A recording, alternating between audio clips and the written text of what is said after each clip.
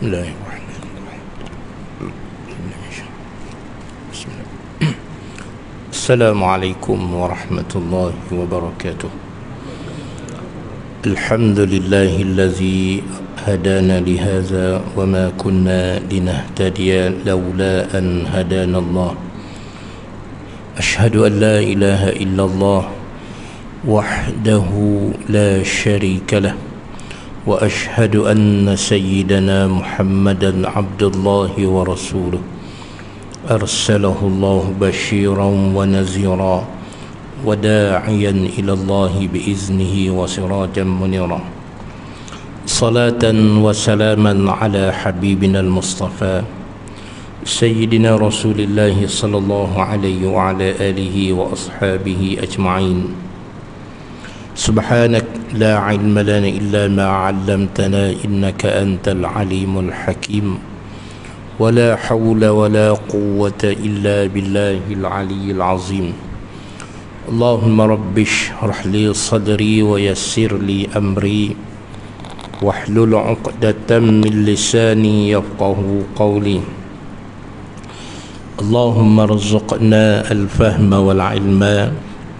فهم النبيين وحفظ المرسلين وارزقنا الحكمة والعقل وفقهنا في الدين وعلمنا التأويل. اللهم لا سهل إلا ما علم اللهم لا سهل إلا ما جعلته سهلا وأنت تجعل كل حزن إذا شئت سهلا. اللهم اتمم لنا نورنا وتمم لنا بكل خير يا أرحم الراحمين آمين يا رب العالمين أما بعد Muslimin sidang jemaah yang dirahmati lagi dikasihi Allah Subhanahu wa taala. Alhamdulillah pertama sekali kita merafakkan kesyukuran dan puji kita ke hadrat Allah Subhanahu wa taala dengan penuh kesedaran dan dengan penuh keredaan serta rasa keseronokan dan rasa berpuas hati dengan segala perkara yang telah diberi oleh Allah Subhanahu wa taala sepanjang kita hidup di muka bumi Allah Subhanahu wa taala. Dan yang paling besar Allah Subhanahu wa taala sediakan kepada kita satu cara hidup ataupun kita panggil Islam sebagai ajaran yang memandu dan menunjuk arah kebenaran kepada seluruh manusia dan kepada seluruh jin. Mudah-mudahan kita manusia tergolong dalam golongan mereka yang diberi kemenangan dan kejayaan.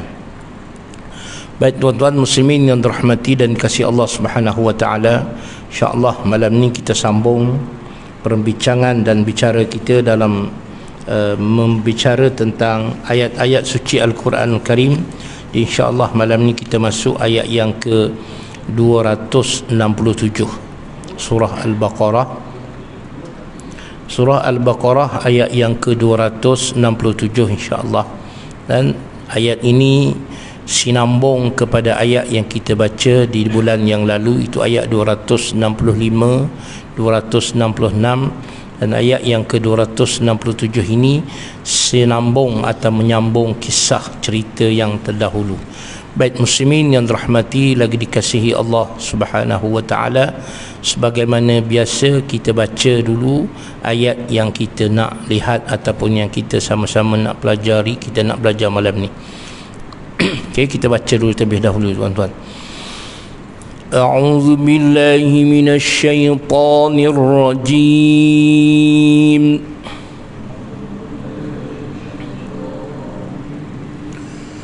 يا أيها الذين آمنوا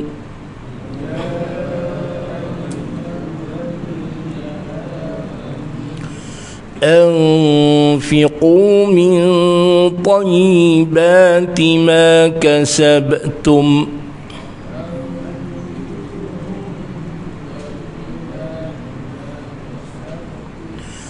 ومما أخرجنا لكم من الأرض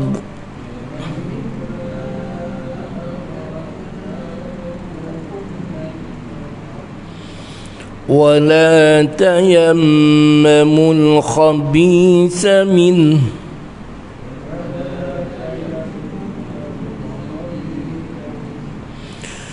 الخبيث منه تنفقون ولستم بآخذيه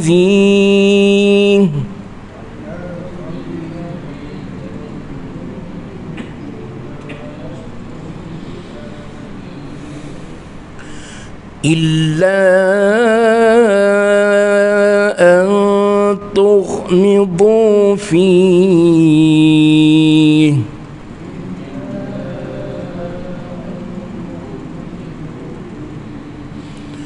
واعلموا أن الله غني حميد.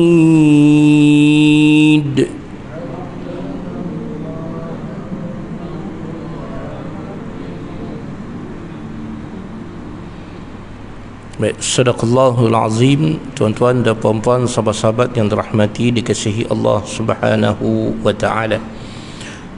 Ayat yang ke-267 ini Sebagaimana yang saya dah sebut tadi Sinambung cerita ayat 265-266 di mana ayat 266 265 66 Allah Subhanahu wa taala menegaskan kepada kita ada dua perkara. Pertama di dalam kita menunai ataupun dalam kita melakukan ketaatan kepatuhan atau dengan kata lain dalam kita beribadat ada dua perkara besar Allah sebut kepada kita. Pertama italabi mardatillah ataupun sesuatu kita buat sesuatu untuk kita mencari mardatillah keredaan Allah Subhanahu wa taala tak buatlah apa sahaja termasuklah kita belajar kita solat kita berzikir kita baca Quran.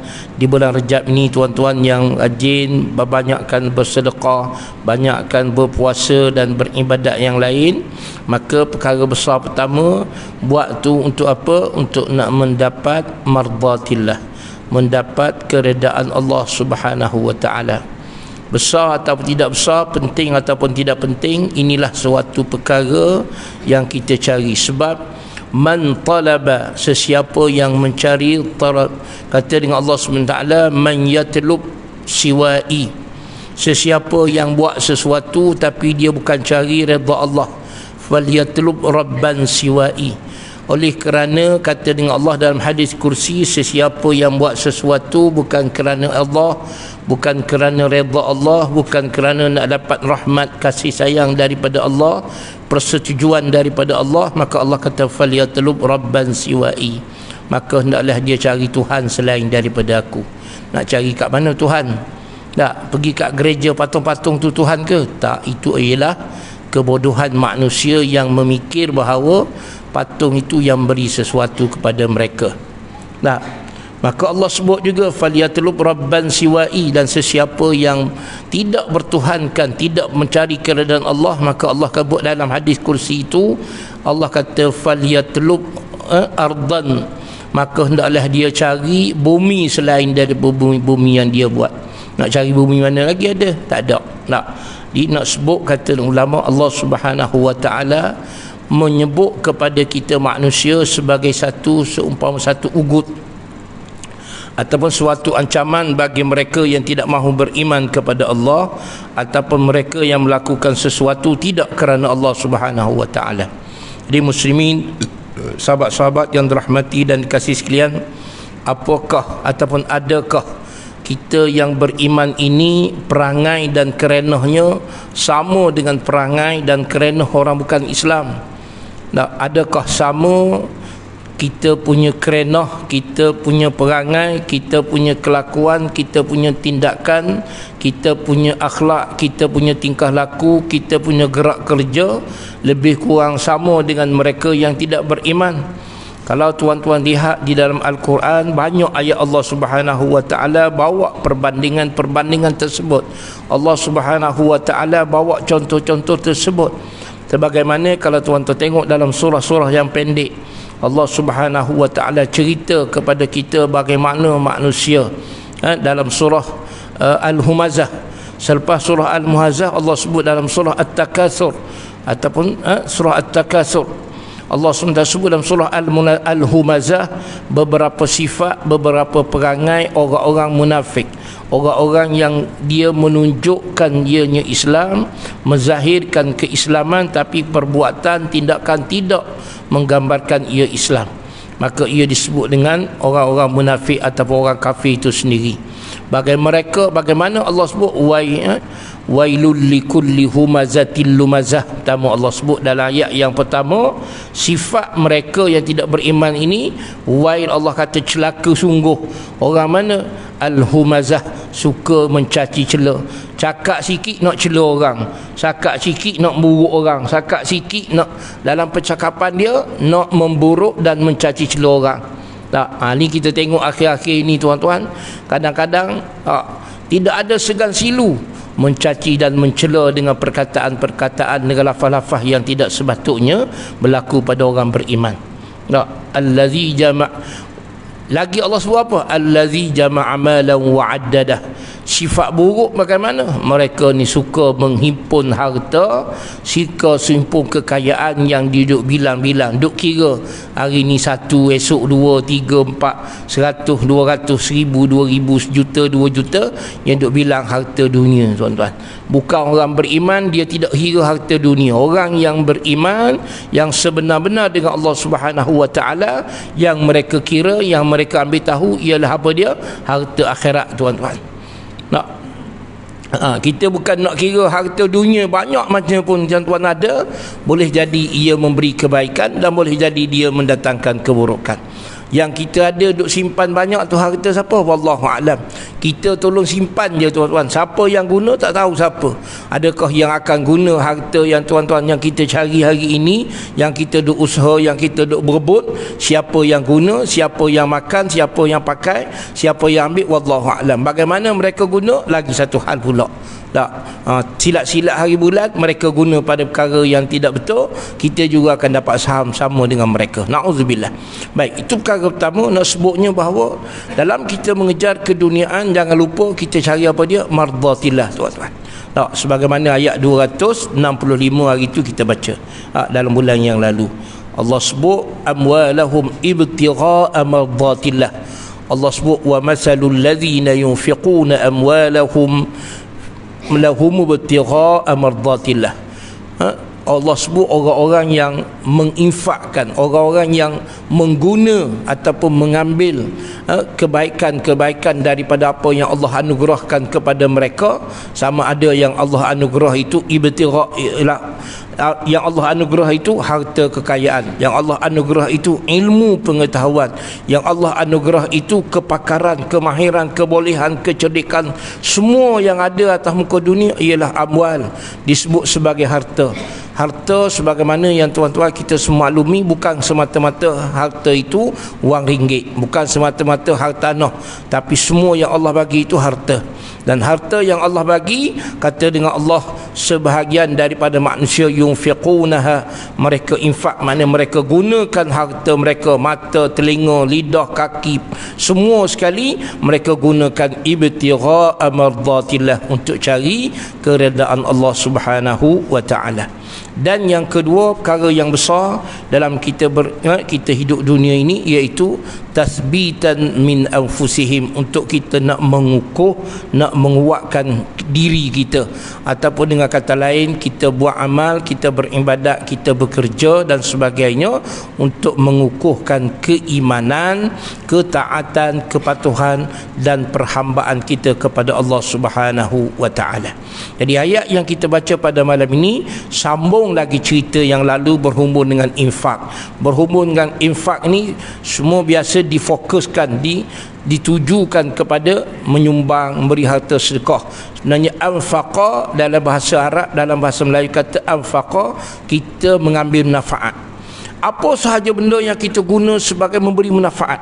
Ha, maka ia disebut sebagai sebagai uh, apa ni sebagai perkara yang beri kebaikan. Walaupun sebahagian daripada ulama tafsir atau dalam cerita ayat ini termasuk Sayyidina Ali radhiyallahu anhu dan beberapa orang sahabat maksud anfiqu di sini maknanya ialah zakku iaitu bayar zakat tak. Tapi dalam pentafsiran ulama sebut bahawa makna ayat ini tidak sebegitu. Sebagaimana yang kita semua tahu dan kita semua maklumi tuan-tuan sahabat-sahabat semua di dalam memahami ayat suci Al-Quranul Karim ini pertama-tama sekali kita nak faham kita kena mengikut hadis-hadis Nabi tuan-tuan. Tak. Boleh tak kita faham ayat Quran tu secara direct kita baca ayat Quran tak payah tengok hadis Nabi kita faham terus. Boleh tak? Ha? Ada ayat boleh ada ayat tak boleh ha, jadi dalam suasana sebegini adakah kita nak kata bila ayat Quran kata begini Nabi sebut maknanya seolah-olah ada sedikit perbezaan? Adakah Nabi itu lawan? Allah tak. Untuk memahami sebahagian daripada ayat suci Al-Quranul Karim kita kena tengok kita kena lihat penjelasan daripada Rasulullah wasallam atau apa yang ulama sebut sebab nuzulul ayat sebab turun ayat Nabi sebut sahabat sebut begitu Tak, begitu juga kita nak faham hadis-hadis Nabi. Tak, kita nak faham hadis Nabi ada hadis-hadis perlu kepada huraian, perlu kepada penjelasan dan pencerahan daripada sahabat atau para ulama. Kita nak faham perkataan ayat mungkin boleh, tapi makna sebenar ayat atau hadis Nabi itu kena faham dengan apa yang diberi penjelasan oleh para para ulama. Maka adakah kita ikut apa yang dijelaskan oleh ulama itu kita tinggal Nabi? Tak, untuk memahami memahami sesuatu kadang-kadang kita perlu kepada pencerahan. Kerana pencerahan itulah yang mungkin eh, mungkin dia tidak nampak tak sama dengan perkataan itu. Tak nampak tidak sama sebenarnya itulah gharat ataupun matlamat yang dikenaki berdasarkan kepada penjelasan dan keterangan daripada orang-orang yang berpengetahuan jadi muslimin sahabat-sahabat yang dirahmati dan dikasih sekalian sebagaimana dalam ayat yang kita baca tadi Allah sebut wala tayammamul khabitha. Jadi perkataan wala tayammamu adakah kena makna tayammamu itu kena tayammum? Tak tayamum di situ maknanya ialah wala taqsudu. Jangan kamu niat atau kamu bertujuan Ha, jadi kalau ikut perkataan wala tayammamul khabith. Jangan kamu bertayamum dengan benda buruk dak maksudnya. Jangan kamu niat dalam sesuatu perkara yang kamu nak lakukan nak buat itu dengan perkara yang buruk. Niat benda buruk dak. Ha, sebab tu tuan-tuan sahabat-sahabat yang dirahmati dan kasih Allah Subhanahu wa taala walaupun tuan-tuan rasa tuan-tuan baca ayat Quran tapi dengan niat yang lain daripada matlamat asal Quran maka Allah jadi dia boleh jadi tak. Baca ayat Quran Allah sebut baca ayat Quran ni kadang-kadang ada orang baca ayat Quran nak suruh jadi orang panggil ayat pengasih nak suruh orang sayang kat dia. Maka boleh jadi tak boleh. Bukan tak jadi. Baca ayat Quran betul ke ayat Quran untuk jadi ayat pengasih? Tak. Tidak ada satu ayat tidak ada satu hadis Nabi pun Nabi kata ayat Quran ni diturunkan untuk jadi ayat pengasih. Tak. Walaupun makna mungkin ayat itu cerita tentang hubung kasih sayang. Tak sebagaimana ada orang amalkan ayat dalam surah Yusuf. Saya tak nak sebut ayat ni nanti kau orang beramal pula mampu aku nah, ada ayat dalam surah Yusuf tu dijadikan amalan untuk jadi ayat pengasih nah, uh, sebagaimana tu ayat tu cerita Nabi Yusuf dengan cerita dia di istana tu tapi ada orang kita jadikan tafa'ur mungkin ambil berkat daripada cerita Nabi Yusuf mungkin jadikan sebagai diamalkan sebagai ayat pengasih Allah bagi ke? Bagi semua. Allah kata yu'ti dunya liman yuhibbu wa man lam yuhib. Dunia ni Allah sebut, Allah bagi semua. Orang yang Allah sayang, Allah bagi. Orang beriman, orang bagi. Orang kafir, Allah bagi. Dunia siapa yang nak cari, Allah bagi belaka tuan-tuan. Tak ada bukan kata manusia, kambing lembu pun ada atas dunia ni. Nah, bukan kata kami tak ada makan atas dunia. Bukan kata babi tak boleh makan atas dunia ni. Kalau kita sebut bahasa kasar begitulah. Nah, oh, apatah lagi kita manusia ni. Lebih-lebih lagi lah. Lebih lebih mulia manusia lah daripada babi tu. Babi pun boleh makan. Ada nak kata macam tu. Nah, tak boleh. Jadi muslimin dan rahmati dan dikasihkan. Dia nak sebut tadi bahawa dalam kita beramal, baca ayat Quran, baca hadis Nabi, baca wirid, baca doa. Apa dia? Pertama untuk dapat redha Allah. Yang Kedua, buat untuk apa tuan-tuan? Untuk mencari atau untuk mengukuhkan diri kita, mengukuh dan menguatkan keimanan kita. Jangan niat sesuatu. Ada orang tanya saya, "Ustaz, bolehkah kita amal ayat Quran supaya kita jadi kuat?" Boleh. Kalau Allah bagi. Tapi betul ke? Tak betul. Kita amal ayat Quran bukan nak suruh kuat, bukan nak suruh kuat. Allah bagi kita kuat, tak apa kuatlah. Tak, kalau beramal nak jadi kuat, sahabat-sahabat Nabi hafal ayat Quran, kuat belaka mereka. Tapi kenapa mereka mati syahid? Orang kita amal ayat Quran, saya amal ayat Quran, kita tak lu kuat kebal. Tuan-tuan rasa sahabat Nabi dengan kita ni siapa yang lebih kuat amal ayat Quran? Kita ke dia? Sebab apa orang kita amal ayat Quran, dia kata dia baca ayat Quran tapi boleh jadi kebal. Sebab tu Allah SWT ada sebut atas dunia ni Walaupun baca ayat Quran Dia boleh Allah bagi semua. Tapi betul tak amal ayat Quran untuk jadi kebal? Tak betul. Tak betul tuan-tuan eh? Baca ayat Quran nak suruh boleh terbang Boleh semua. Semua itu tak betul. Tidak ada satu pun. Tapi amal ayat Quran kerana Pertama redha Allah. Yang kedua untuk Allah. Bagi kita kekuatan iman. Allah nak bagi hasil daripada kemuliaan. Yang kita panggil karamah mulianya kita amal ayat Quran itu. Maka Allah bagi kita kebal. Allah Allah orang orang orang tembak kita orang tikam kita tak lu. Kita bukan nak benda tu. Allah bagi. Kan? Jangan tuju benda tu. Kalau kita buat tuju benda tu itu salah tak salah dari sebab itu dia boleh dipengaruhi oleh kuasa makhluk lain. Ha, biasanya dia akan jadi macam tu. Sebab tu saya sebut bahawa sebilangan orang kita di zaman silam atau zaman hari ini pun masih lagi banyak mengamalkan ilmu-ilmu persilatan yang dipanggil silat batin. Sebenarnya itu antara perkara yang kurang tepat dari sudut agama. Di dalam Islam dia ada beberapa perkara yang dipanggil khawarikul adah ha, kalau tuan-tuan belajar dalam sifat Nabi kenabian ni ada satu perkara dipanggil khawarikul adah. Khawarikul adah ni apa dia? Perkara yang cari adat ha, kalau bahasa Melayu panggil kharikul adat ni benda yang cari adat mana dari sudut adatnya biasanya begini. Tapi kerana kita buat benda ni dia lain ha, dia panggil luar biasa kharikul adat ni benda yang luar biasa jadi melalui beramal melalui amalan-amalan persilatan tertentu dengan amalan yang dianugerahkan oleh guru maka kita boleh buat sekian-sekian ha, nak sebut atas nama berapa tu tuan-tuan yang bila kita belajar silat kalau tak belajar silat tu tak memang tak boleh buat Anak tu atas nama apa? Dalam Islam ni dia panggil khawarikul adah yang pertama sekali dia panggil apa dia? Mukjizat. Nak dipanggil mukjizat. Mukjizat ni pasal apa? Para nabi dan rasul. Nabi boleh belah bulan. Orang tengok belah nak dua ada dua. Nabi boleh keluar air kot tangan ni. Apa dia? Mukjizat nabi. Nak Nabi Musa tongkat dia bertukar jadi ular. Tongkat dia pukul laut terbelah dua. Tongkat dia pernah pukul pukul apa nah? Pukul batu. Keluar air kot batu. Dua belah air mata nak tongkat Nabi Musa alaihi salam. Begitulah nabi-nabi. Nak Nabi Syuaib keluar bu keluar ikut bukit. Eh Nabi Syuaib apa nabi apa? Nabi Saleh keluar ikut bukit apa nak seekor unta pun betina warna putih. Tak unta tak ada seekor pun warna putih tuan-tuan. Tapi keluar nak sebutnya benda khariqul adah yang pertama namanya ialah mukjizat. Pada siapa? Nabi dan rasul. Sebelum kenabian ataupun sebelum dia jadi nabi sebelum dia jadi rasul ada benda luar biasa. Sebagaimana nabi kita Muhammad sallallahu alaihi wasallam semasa dia masih kecil dia ikut pak saudara dia pergi niaga di aman di mana ada awan teduh dia. Luar biasa tak? Luar biasa. Itu dipanggil mukjizat ke? Tak, itu dipanggil ma'unah. Bukan ma'unah yang kat gerik lagi tu tu, tu lain tu. nah, ma'unah apa ni? Pertolongan bantuan daripada Allah. Mukjizat benda istimewa. Dari sudut perkataan mukjizat apa dia? Ijaz mana keistimewaan yang diberi oleh Allah Subhanahu wa taala kepada nabi dan rasul. Ma'unah apa dia? Allah bantu, Allah tolong sebelum jadi nabi. Dan yang ketiga perkara luar biasa juga yang dipanggil karamah. Yang orang kita Melayu panggil keramat.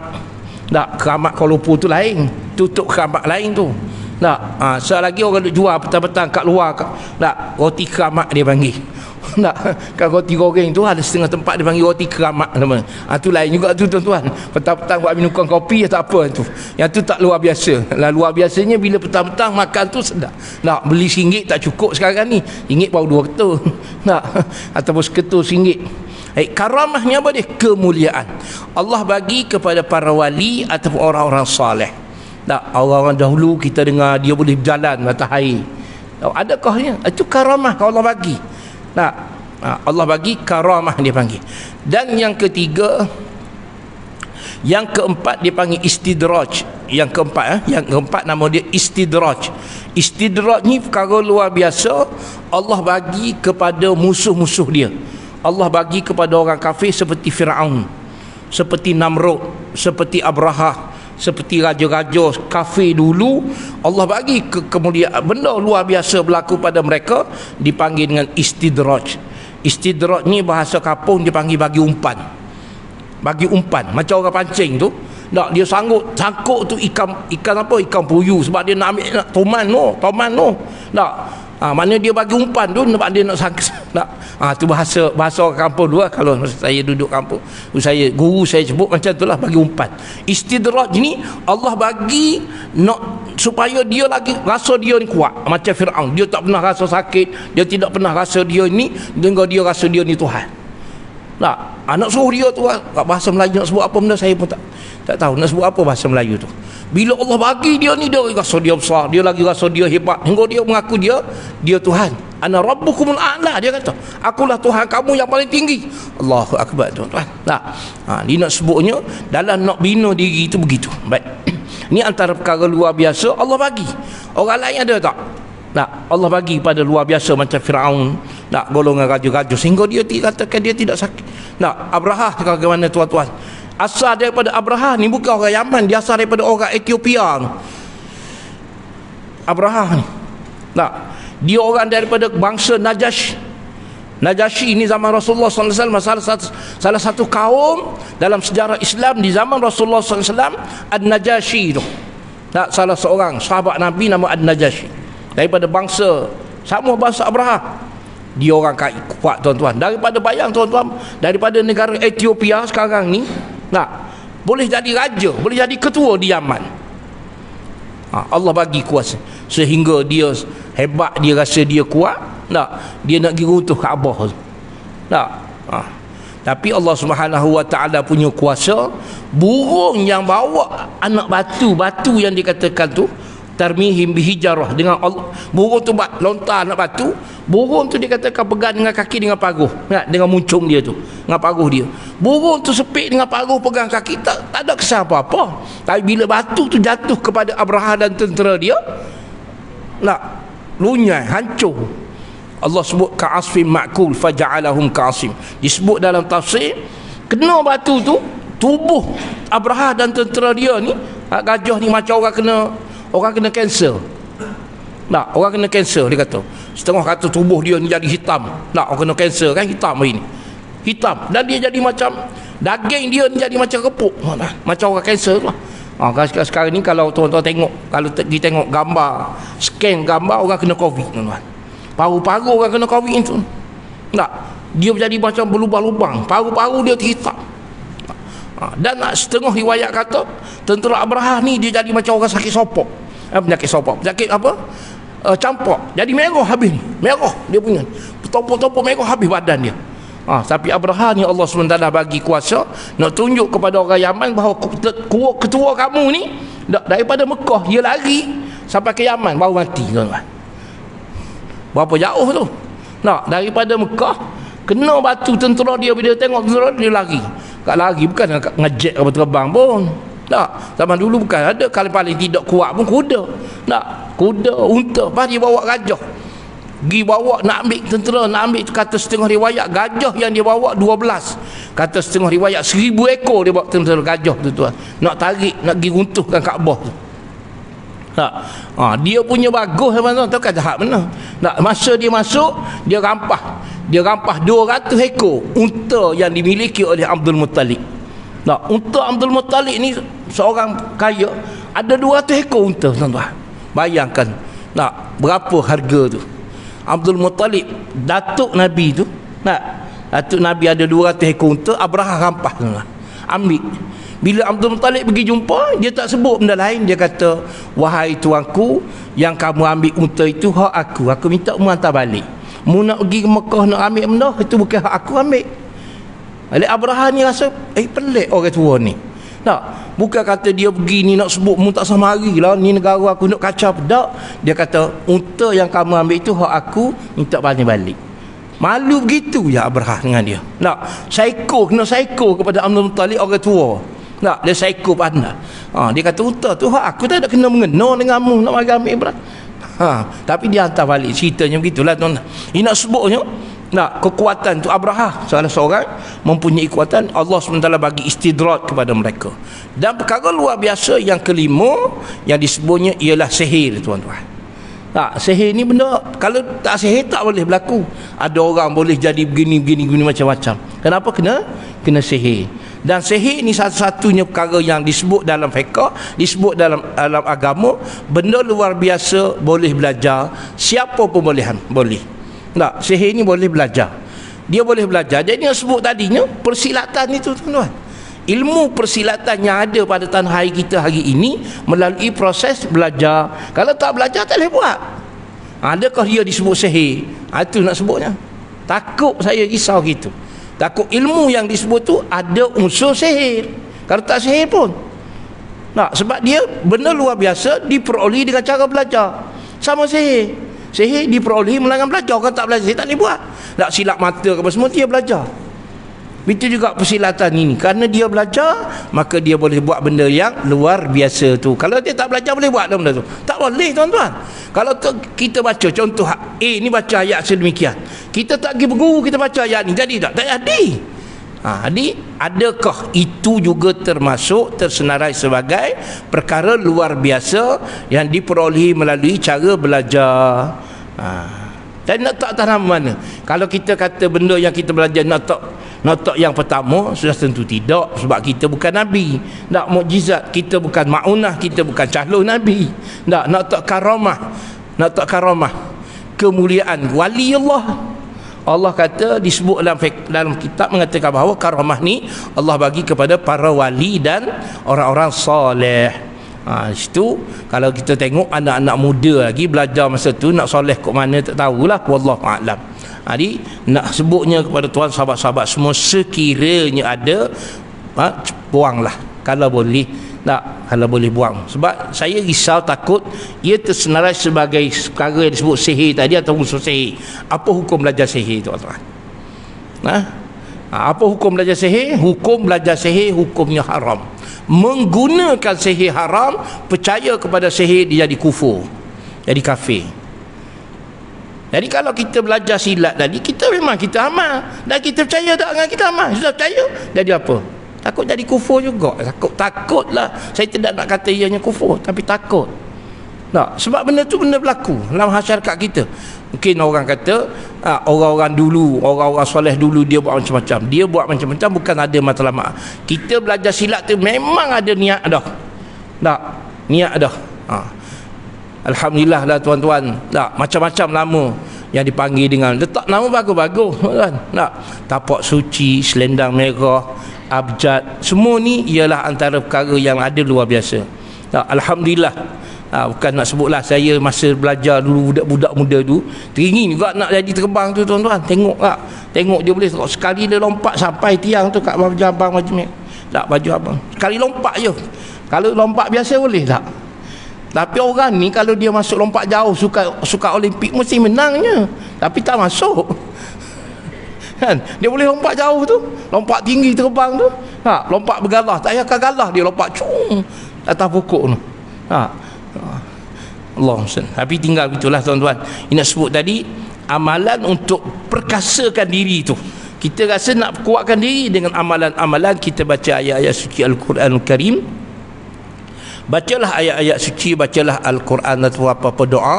Kita minta dengan Allah Subhanahu wa taala jangan ada niat selain. Sebab kalau ikut dalam ilmu ilmu agama ni kita baca ayat Quran dengan niat perkara-perkara tertentu boleh jadi dia akan datang yang dipanggil dengan khadam atau panggil panggil dengan kata mudahnya ialah jin sebenarnya tuan-tuan bantuan jin maka dia boleh buat berbagai-bagai perkara yang luar biasa.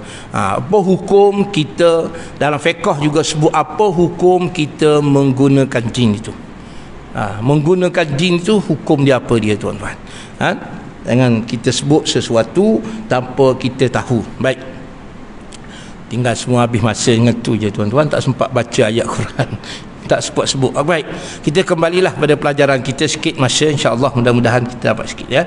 Ya Allah Subhanahu wa taala sebut ya ayyuhallazina amanu anfiqu min tayyibati ma kasabtum wa mimma akhrajna lakum minal ard Allah sebut secara khusus ayat ini. Kalau dalam ayat 265 266 Allah tidak sebut siapa-siapa. Allah semuanya sebut masalul ladzina yunfiquna amwalahum mubtigha'a mardatillah. Allah sebut perumpamaan. Allah kata bandingan sesiapa ataupun mana-mana orang yang infak yang guna yang manfaat daripada harta yang Allah bagi. Tapi ayat ini Allah sebut khusus kepada kita tuan-tuan itu orang-orang yang beriman Allah kata wahai orang-orang yang beriman anfiqu min tayyibat ma kasabtum infak gunalah eh? anfiqu dia kata zakku ha, sebagaimana kita sebut tadi disebut dalam setengah pandangan ulama sebagaimana yang disebut oleh Sayyidina Ali radhiyallahu anhu dan beberapa sahabat lain dia kata anfiqu di sini mengambil mana zaku keluarlah zakat daripada tayyibat benda-benda yang baik. Ha, dan perkataan tayyibat Allah sebut tayyibat di sini diterjemahkan pula tayyibat ni benda baik kalau nak kira benda baik terlalu banyaklah benda baik. Tapi benda baik di sini ialah benda-benda yang disebut dengan tanaman ataupun disebut dengan hasil ataupun disebut dengan cucuk tanam ataupun pertanian penternakan yang baik. Nah ha, ternakan yang baik ni makna binatang ternakan yang halal tumbuh-tumbuhan yang dimakan. Tapi Allah Subhanahu wa taala tidak sebut gitu. Allah sebut tayyibat yang baik-baik tak kalau nak sebut tayyibat yang baik-baik semua benda yang baik kena infak belaka. Tuan-tuan. Tapi kalau ikut yang disebut oleh Sayyidina Ali yang keluar zakat bukan semua benda. Tak. Bila keluar zakat kita sebut zakat adakah semua benda kena keluar zakat? Tak. Orang yang cucuk tanam tak. Orang yang tak ada ternakan orang yang pertanian. Pertanian bukan semua pertanian kena zakat. Tak. Bukan semua pertanian kena zakat begitu juga penternakan orang ternak yang ternak kena zakat mula daripada kambing lembu biri-biri kibas orang ternak ayam orang ternak itik tak ada tak ada sebut. Nah kambing sekurang-kurangnya kena ada berapa puluh ekor. Baru kena zakat. Bela itik banyak maka itik itu digunakan sebagai apa? Tak guna itik telur ataupun itik itu digunakan sebagai perniagaan jual itik. Itik daging ambil daging maka dia tak kena zakat itik dia kena zakat perniagaan sebab dia bisnes jual itik. Dia jual telur itik sekira cukup nisab. Jualan telur jualan itik maka dikeluarkan zakat. Kan? Ok Hasan dulu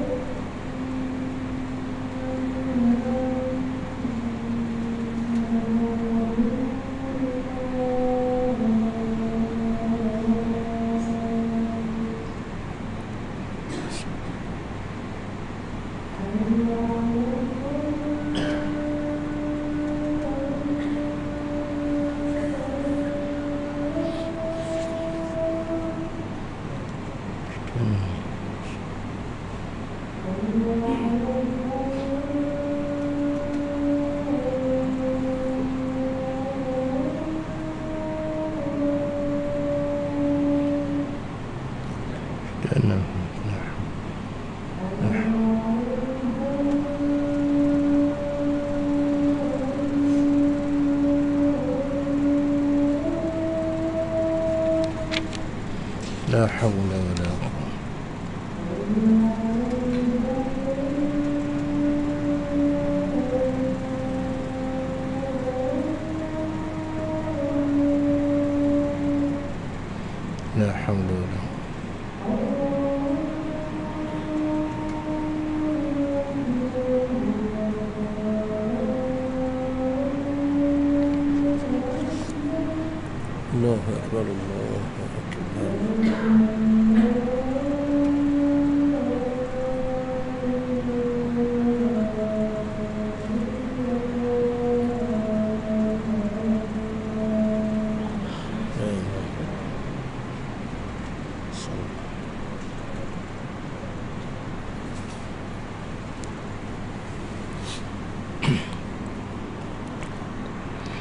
Baik muslimin dan muslimat yang rahmat Allah Subhanahu wa taala. Jadi kata dengan Allah Subhanahu wa taala sebut kepada kita mengenai tayyibat. Dia kata tayyibat ini sawa'un akana nuqudan aw mashiyatan aw hububan aw zuru'an aw sil'an tijariyatan wa ghairaha. Dia kata benda baik itu sama ada ianya seperti wang ringgit, masyiyah binatang ternakan, hububan biji-bijian, wa zuru'an tanaman, wa sil'an tijariyah ataupun nilai perniagaan, keuntungan daripada perniagaan dan sebagainya. Ataupun juga disebut seperti ma'adin, galian ataupun al-kunus, benda-benda yang tersimpan ataupun juga disebut rikas. Ha, rikas ni harta yang ditanam oleh orang-orang dahulu. Yang dipanggil dengan orang panggil orang Melayu lah panggil. Dia panggil apa? Harta korun dia kata. Harta karung ha, korun tak harta karun. Bukan korun. Ha, itu harta karung korun lain. Nak korun kat mesti tak jumpa dah tak ada siapa pun jumpa. Pergilah selam. Ha, siapa berani yang jenis kobar boleh selam atau pergilah selam tasik korun tu sampai ke bawah jumpa tak? Tak jumpa tuan-tuan. Yang dia jumpa ni harta karun. Ha, karun bukan harun harun lain. Nah nanti Pak Harun tak ada hari ni tak sihat ke dia? Biasa ada. Mana Pak Bilal Harun tak ada malam ni? Okay, ya tuan-tuan yang dirahmati Allah Subhanahu wa taala. Jadi semua benda ni Allah sebut antara perkara yang tayyibat. Sekiranya siapa yang ada benda-benda seumpama tadi, maka Allah kata anfiqu keluarkanlah ia, gunakanlah ia pada perkara-perkara yang mendatangkan kebaikan. Ha, sebab itu Allah Subhanahu wa taala sebut dalam surah Ali Imran ayat yang ke uh, ayat yang ke apa 92 Allah kata lan tanalul birra hatta tunfiqu mimma tuhibbun Allah sebut lan tanalul birra. Sekiranya seseorang dari kalangan kita mahu dan mencari kebaikan-kebaikan yang banyak maka Allah kata hendaklah ia infak. Ia belanjakan mimma tuhibbun sesuatu ataupun daripada perkara-perkara yang dia sayang. Bukan belanja benda yang dah tak sayang tak kena belanja yang kita sedang sayang. Itulah pahala yang banyak kata dengan Allah Subhanahu wa taala. Dan dalam ayat ini ataupun dalam ayat yang kita baca tadi Allah Subhanahu wa taala menyatakan kepada kita satu larangan ataupun satu formula wa anhaakum an taqsudu ilal khabithir radi min amwalikum fatunfiqunahu. Ha, bahawa sekeilangan daripada kita tidak boleh sekali-kali niat ataupun bertujuan untuk nak keluarkan nak bagi ke orang pilih yang buruk-buruk. Pilih yang dah ha? yang dah tak laku baru nak bagi. Tak. Ar-radi al-khabith al-khabith ar-radi maknanya bukan saja dia buruk bahkan dia sudah radi rosak dah kadang-kadang. Ha, ha, itu tak bagus. Sebab dia kata ha, sebenarnya dia kata ma taqrahuhu nufusukum. Ha, benda yang kalau kita bagi ke orang tu kalau orang bagi kat kita agak-agak kita terima tak? Ha, kalau kita bagi ke orang, orang pun buat orang kata buat kain lap kaki, ha, baik tak? Ya. Nah, kalau kat kita kita buat lap kaki dan pakaian itu kalau kita nak bagi orang tak boleh. Nah, sebab itu dia kata innallaha tayyibun la yaqbalu illa tayyiba. Sebab apa kita orang beriman yang bersifat dengan sifat iman, sifat ada sifat keimanan ini sebab dia kata kita orang beriman yang bertuhankan kepada Allah, percaya kepada Allah, dia kata innallaha tayyibun la yaqbalu illa illa tayyiba. Allah itu indah Allah itu elok dan Allah juga menerima suka kepada keelokan dan keindahan. Maknanya Allah Subhanahu Wa Taala tak suka. Allah tidak mahu andai mana kita memberi sesuatu yang sudah tidak elok. Sebagaimana tuan-tuan dalam cerita kisah anak Nabi Adam Qabil dan Habil tak bagaimana Allah Subhanahu Taala menerima uh, menerima apa ni barang yang dibawa oleh Habil. Tak Habil bawa kambing ataupun dia katakan kibas yang paling besar, yang paling gemuk, yang paling mahal yang ada dalam ternakannya. Dia pilih yang tu dia bawa untuk bagi bagi sumbangan. Manakala Qabil pula yang disebut sebagai pembunuh. Akhirnya dia bukan bawa benda baik, dia ada cucuk tanam, dia bawa gandum ataupun hasil tanamannya yang sudah tidak elok. Tak kalau kata bawa padi pun padi yang sudah tak ada isi. Ada isi sikit-sikit dah. Ha, padi yang dah nak jadi hampa tu tuan-tuan. Ha, maka itu cerita bagaimana Allah Subhanahu Wa Taala nak terima. Jadi kita hari ini pun sedemikian. Nah, bagaimana bila kita disuruh ataupun diminta supaya membuat sesuatu infak maka eh, dia sebut bahawa ingat pertama Allah tidak menerima keburukan. Allah indah Allah elok Allah baik dan Allah suka kepada keindahan dan keelokan. Dan dia sebut dia kata tadi la yaqbalu nufusukum ma taqrahuhu. Jiwa kita diri kita kalau orang bagi benda buruk kita tak terima apakah kita nak bagi kepada kepada orang lain tak ha, apatah lagi kata dengan dia mala manfaata fihi. Sesuatu yang dah bagi tadi kalau nak mengambil manfaat pun tak tahu kat mana dah nak ambil manfaatnya. Nak ambil manfaat macam mana? Baik. Jadi muslimin yang dirahmati dan dikasihi Allah Subhanahu wa taala dalam kita memberi sesuatu untuk nak cari redha Allah yang disebut asal tadi, pertama ingat bila kita buat sesuatu kita nak cari redha Allah. Kalau kita nak cari redha Allah, kenapa kita bagi benda yang buruk-buruk? Allah sendiri sebut innallaha tayyibun. Allah itu baik, Allah itu Allah itu indah, Allah itu baik indah elok. Dan Allah pula la yaqbalu illa tayyiba. Allah dia elok dia tidak terima kecuali sesuatu yang baik-baik sahaja. Mana Allah tak terima benda yang tak elok. Jadi kalau kita nak cari redha Allah dan mana kita bagi benda yang tak elok? Tak kalau kita nak yang sebut tadi kita nak perkasakan tasbitan min anfusihim kita nak kukuhkan diri kita nak kuatkan keimanan kita.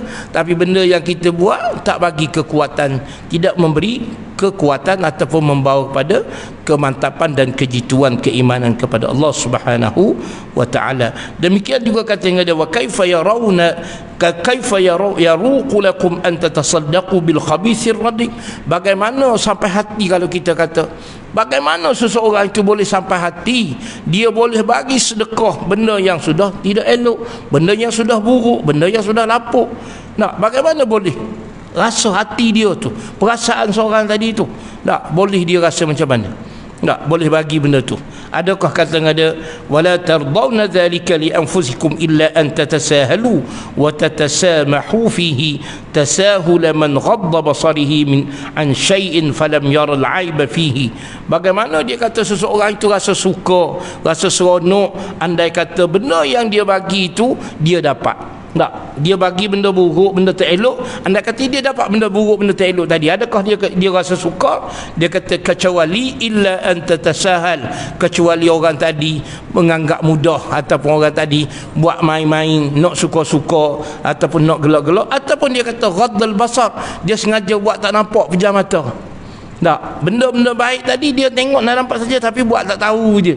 Ha, buat-buat tak nampak buat-buat tak tahu maka dia kata falam yaral aiba fiha seolah-olah dia tidak nampak keburukan ataupun keingat benda yang tidak elok yang terdapat pada perkara yang dia bagi tadi. Maka kata dia walau kana li ahadikum haqqun aw dainun sekiranya pada hak seseorang. Mana kalau kita tuan-tuan ada hutang. Orang berhutang dengan kita ataupun kita ada hak dengan seseorang maka hak kita atau hutang kita tadi dibayar dengan sekadar yang ala kadar saja. Adakah kita nak terima? Maka dia kata lam ta'khuzuhu. Nescaya kamu tidak akan mengambilnya. Tak. Benda buruk orang hutang kita dia bagi benda buruk kita nak bayar hutang. Mau tak tergamak tak tergamak kau kita? Sudah tentu tidak tergamak. Maka kalau kita ambil pun dia kata sudah tentu ambil itu dengan tatasahal rasa nak seronok buat suka-suka begitu je. Bukan kerana betul. Oleh itu kata yang wa'alamu anna Allah in amarakum bis sadaqat bit tayyibat minha. Oleh yang demikian kita kena faham dan kita kena ingat ketulusan kita dalam beribadat ialah untuk mencari redha Allah. Maka dia kata apabila Allah Subhanahu wa taala menyuruh dan memerintah kita dengan sesuatu perkara sudah tentu Allah nak kita buat dengan sebaik yang mungkin tak sebagaimana Allah suruh kita salat, Allah suruh kita puasa, Allah suruh kita bayar zakat, Allah suruh kita mengerjakan haji, Allah suruh kita beribadat, Allah suruh kita beragama, dia suruh dengan kita lakukan dengan sebaik yang mungkin. Allah suruh kita baca Quran, bacalah Al-Quran dengan sebaik mungkin. Allah suruh kita salat, salat dengan sebaik yang mungkin. Apakah dalam kita memberi sedekah, kita menginfak, kita beri bantuan dengan Allah suruh dengan perkara yang ala kadar, sudah tentu tidak. Tak.